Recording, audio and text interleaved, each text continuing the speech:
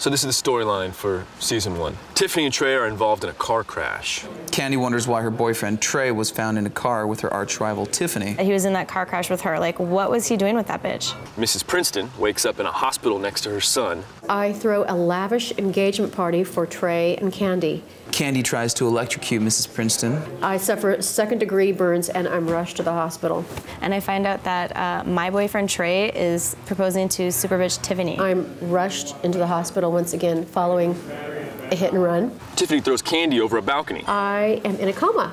I die in a house fire. I have more corrective surgery. I come back to life after dying in the fire. Not only is Candy her daughter, I'm his mother also. And then I die from this terminal illness that I've had.